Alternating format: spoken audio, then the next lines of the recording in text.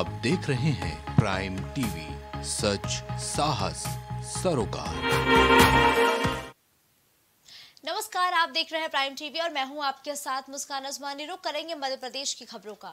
दमोह में आज प्रधानमंत्री मोदी ने चुनावी जनसभा को संबोधित किया है। उन्होंने बीजेपी प्रत्याशियों के लिए वोट की अपील की है, साथ ही कांग्रेस पर जमकर निशाना साधा है। कांग्रेस पर आरोप लगाते हुए पीएम मोदी ने कहा कि पहले कांग्रेस के प्रधानमंत्री रिमोट पर चलते थे, लेकिन अब कांग्रेस के राष्ट्रीय अध्यक्ष भी रिमोट पर संचालित हो रहे हैं। उन्होंने कहा कि भाजपा सरकार में राम मंदिर बनवाया गया, चार करोड़ से ज़्यादा आवास बनवाए गए, मुफ़्त में गैस कनेक्शन भी दिए गए। पीएम मोदी ने अपना संबोधन भगवान जागेश्वर नाथ की जय और बुंदेलखंडी अंदाज में सबाई जनों को राम राम से शुरू किया है। 45 मिनट के भाषण में उन्होंने डबल इंजन सरकार के फ़ायदे बताए और लोगों से बीजेपी को वोट देने की अपील की है।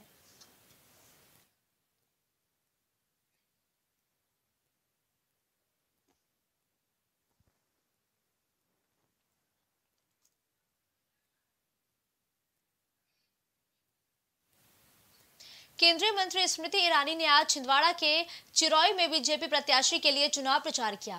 इस दौरान उन्होंने जनसभा को संबोधित किया। जनसभा को संबोधित करने के दौरान उन्होंने कहा कि लखन जी, आप किस्मत वाले हैं कि पूर्व कैबिनेट मंत्री चंद्रभान जी के सानिध्य में बैठे हैं। आप किस्मत वाले हैं और आप राम भक्तों की पार्टी के लखन हैं और आप सीता मैया की सेवा करेंगे। जब प्रभु राम का उल्लेख होता है, भारतीय जनता पार्टी प्रत्याशी लखन वर्मा को एक एक वादों को निभाया है। लखन जीतेगा तो भाजपा जीतेगी, ऐसा मेरा विश्वास है। उन्होंने कहा कि कांग्रेस ने कभी किसी को लखपति नहीं बनाया। भाजपा ने ही लखपति बनाए हैं। उन्होंने कहा कि कांग्रेस नेता बेदम और बेशब्द हो गए हैं। गांधी खानदान हिसाब दे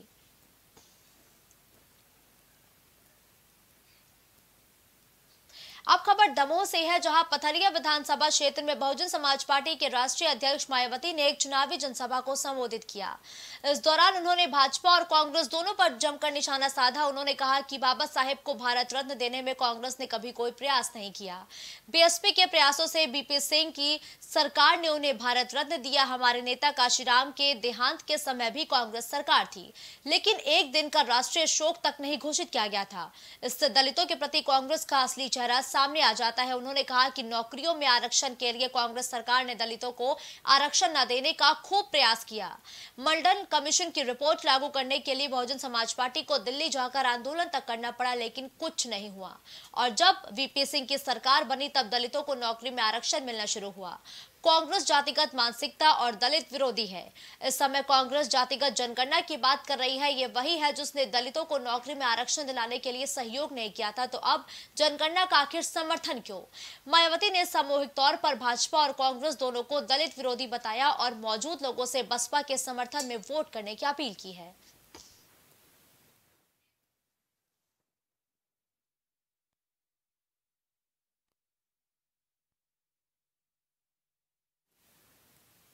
सागर की रैली विधानसभा क्षेत्र से भाजपा के प्रत्याशी और स्टार प्रचारक गोपाल भार्गव ने ढाना में जनसभा को संबोधित किया। गोपाल भार्गव ने कहा 40 सालों का मेरा राजनीतिक जीवन निष्कलंक रहा है। पार्टी के लोग कहते हैं आप सबसे श्रेष्ठ और वरिष्ठ हो। आप मुख्यमंत्री पद के दावेदार हैं, मैं कभी महत्वाकांक्षी नहीं रहा, लेकिन 40 सालों से जनता की सेवा करते मैं पूरा जीवन निकाल दिया। अब ये मेरा आखिरी चुनाव है, ये चुनाव मेरे लिए आपकी सेवा के लिए उच्च पद पर बैठने के लिए है। अगर ऐसा हुआ तो कोई क्षेत्र में व्यक्ति अभावग्रस्त नहीं रहेगा, क्योंकि अभी हम मंत्री रहते हैं, आपकी मदद करते हैं। अगर सीएम पद मिला तो कई ज़्यादा गुना मदद कर सकेंगे, मेरे से पैसे कमाने वाले लोग मेरे खिलाफ खड़े हो जाते हैं। ये क्या स्वर्ग से कर्मचारी लाएँगे? देखो जब कमलनाथ रहे सो वही कर्मचारी रहे। जब दिग्विजय सिंह रहे सो वही कर्मचारी रहे। और जब शिवराज जी रहे सो रहे उमा जी रही सो रही वही कर्मचारी। और गोपाल भार्गव आ जाए तो सोई भी कर्मचारी रहे। गोपाल भार्गव! नंबर एक दूसरी बात किसी को रोज़गार देना बहुत बड़ी बात है। और किसी का रोज़गार छीनना बहुत आसान बात है। गोपाल भार्गव ने मेरे पास में सूची रखी है, सत्ताईस सौ लोगों की अपने राजनीतिक जीवन में नौकरी लगाई है। सत्ताईस लोगों की नौकरी लगाई है, चाहे तो कांग्रेस की सूची देख लें।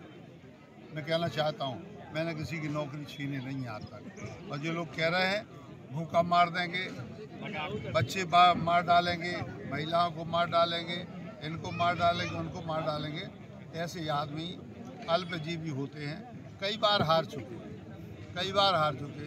वो आदमी जो ऐसा बक रहा है। वो हार चुका, उसका लड़का हार चुका, एक साधारण सी हार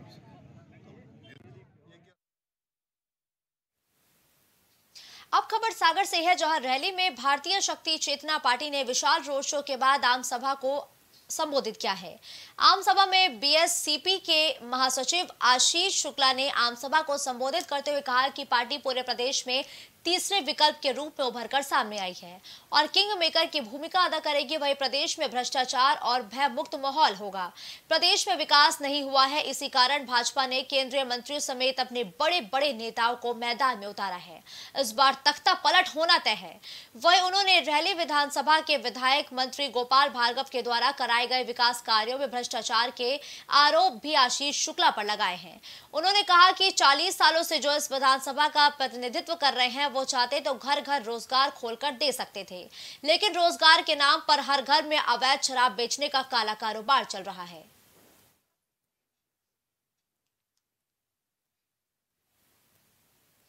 अब खबर दमोह से है, जहाँ भाजपा के विकास कार्यों और जन कल्याणकारी योजनाओं से प्रभावित होकर बजरिया वार्ड नंबर छह के कांग्रेस कार्यकर्ता ने पार्टी छोड़कर बीजेपी की सदस्यता को ग्रहण कर लिया है।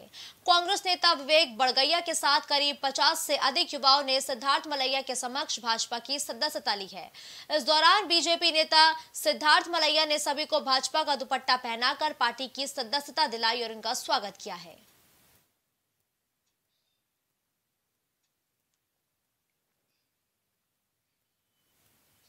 दमोह में प्रधानमंत्री नरेंद्र मोदी के आगमन से पहले भाजपा को एक और बड़ा झटका लगा है। सौ से ज़्यादा भाजपाइयों ने कांग्रेस की सदस्यता ले ली है। कांग्रेस प्रत्याशी अजय टंडन की मौजूदगी में लक्ष्मण कुटी गाँव में इन सभी लोगों ने कांग्रेस की सदस्यता ली है।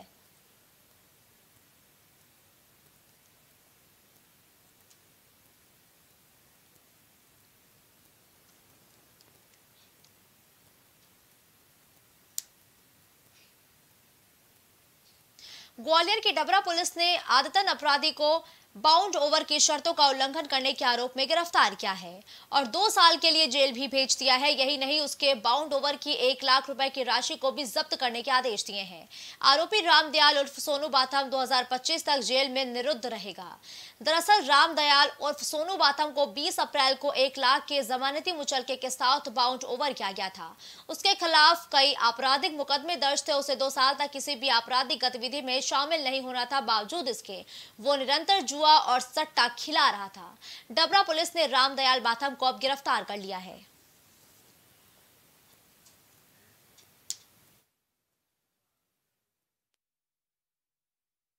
एक सौ दस की कार्रवाई में दो या दो से अधिक जिनके विरुद्ध अपराध होते हैं, उनके विरुद्ध कार्रवाई की जाती है और एसडीएम न्यायालय में पेश किया जाता है। एसडीएम न्यायालय द्वारा उनको सुनने के बाद दो वर्ष के लिए उनसे सदाचार का बाउंड ओवर भरवाया गया था और एक लाख रुपए की मुचल का राशि भरवाई गई थी कि दो वर्ष तक कोई अपराध घटित नहीं करेंगे। इसके बावजूद भी उक्त आरोपी ने जुआ और सट्टे का अपराध घटित करा, जिस पर से दवरा पुलिस ने एक अपराध पंजीबद्ध करा और उन्होंने जो एसडीएम की शर्तों का उल्लंघन करने पर धारा 122 की कार्रवाई की गई, जिसमें बाउंड डाउन के दौरान उनको दो वर्ष की सज़ा दो वर्ष का कारावास और एक लाख रुपए की जो जमानत राशि थी वो जब्त की गई।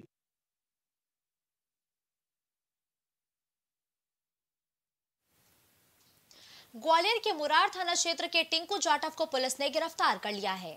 दरअसल पुलिस अधीक्षक की अनुशंसा पर जिला कलेक्ट्रेट ने टिंकू जाटव के खिलाफ जिला बदर की कार्रवाई की थी, लेकिन निर्धारित अवधि के बीच में ही टिंकू जाटव निबुआपुरा में अपने घर के पास की जाटव धर्मशाला के आसपास घूमता पाया गया। पुलिस के गश्ती दल ने जब उसे रोककर पूछताछ की, तब वो कोई संतोषजनक जवाब नहीं दे सका, जिसके बाद पुलिस ने उसे गिरफ़्तार कर लिया और उसके खिलाफ मध्य प्रदेश सुरक्षा अधिनियम की धारा के तहत मामला दर्ज किया गया। है। टिंकू यादव के खिलाफ कई मामले, मुरार एवं सिरोल थानों में दर्ज है। उसके आपराधिक रिकॉर्ड को देखते हुए पुलिस अधीक्षक ने उसके खिलाफ जिला बदर की कार्रवाई का प्रस्ताव बनाकर कलेक्ट्रेट को भेजा था।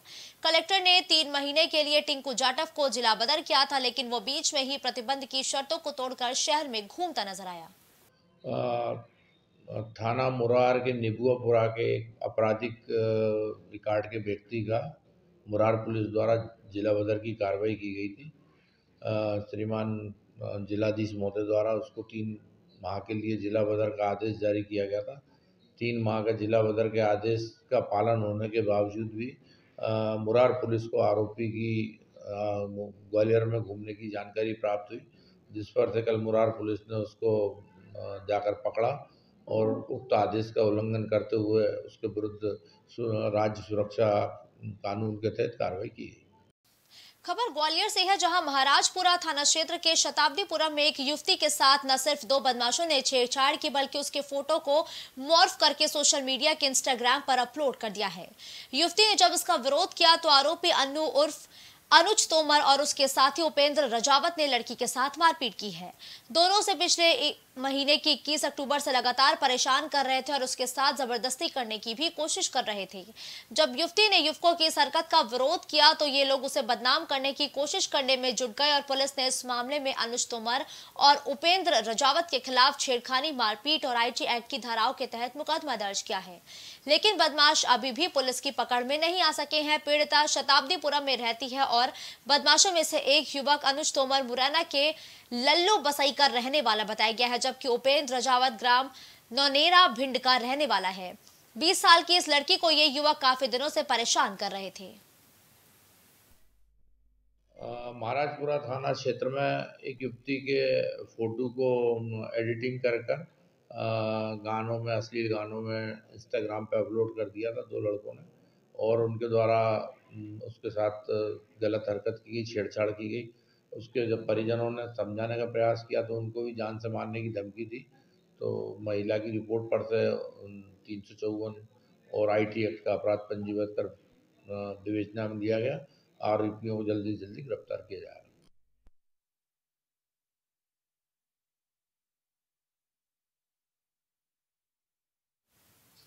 मध्य प्रदेश में प्रदूषण का स्तर लगातार बढ़ता जा रहा है।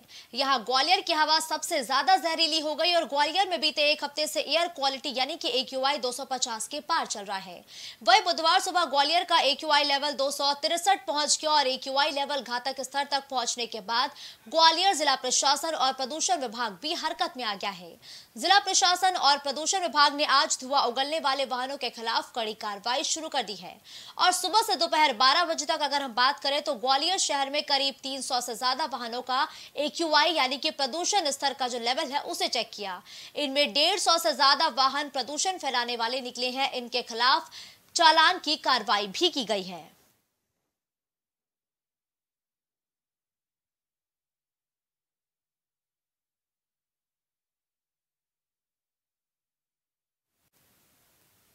इस बुलेटिन में फ़िलहाल के लिए बस इतना ही। देश और दुनिया की तमाम बड़ी खबरों के लिए आप देखते रहिए प्राइम टीवी।